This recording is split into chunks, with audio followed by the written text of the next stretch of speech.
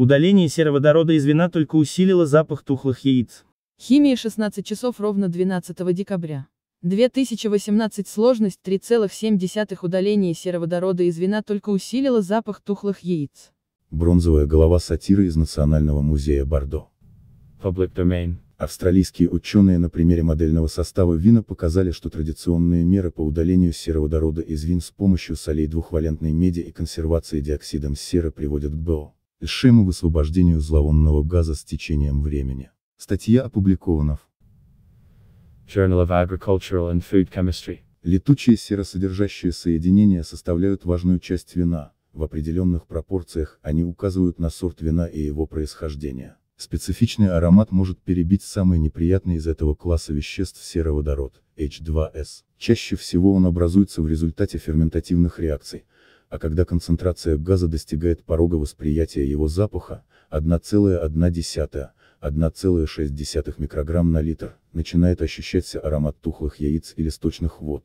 На первых этапах производства напитка нежелательное вещество можно полностью убрать из смеси, но иногда, если вино простоит достаточно долго, все равно замечается характерный неприятный запах. Обычно от сероводорода избавляются методом аэрации или добавлением солей двухвалентной меди, чтобы в осадок выпадал нерастворимый сульфид, который отфильтровывают на следующей стадии очистки. В то же время, в этих условиях, в присутствии сероводорода, медь окисляет другие сероорганические вещества, которые содержатся в вине, с образованием органических полисульфидов.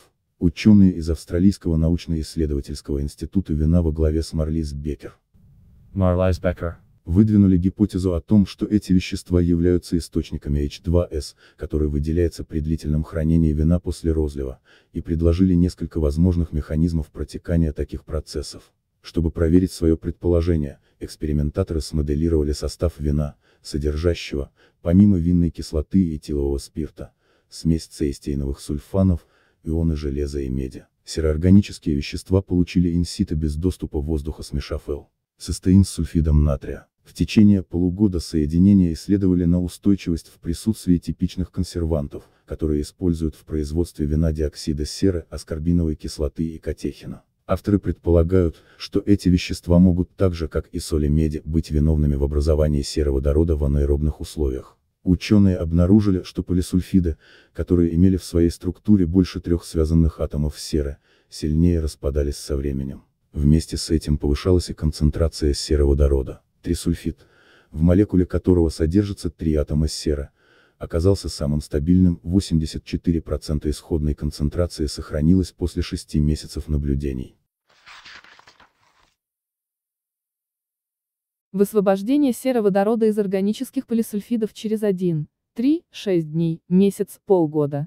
Синий вино без восстановителей, красный с добавлением аскорбиновой кислоты, зеленый диоксида серы, СО2, фиолетовый СО2 и аскорбиновой кислоты, оранжевый СО2 и катехина. Marlies Becker and others, slash Journal of Agricultural and Food Chemistry.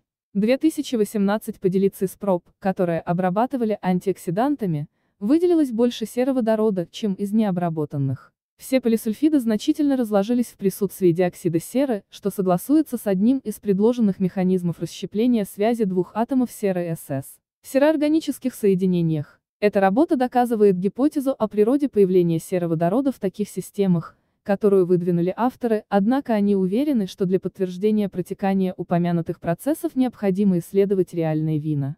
Запах вина может испортить не только винодел с баллоном диоксида серы, медным купоросом и добрыми намерениями, но и муха, попавшая в стакан.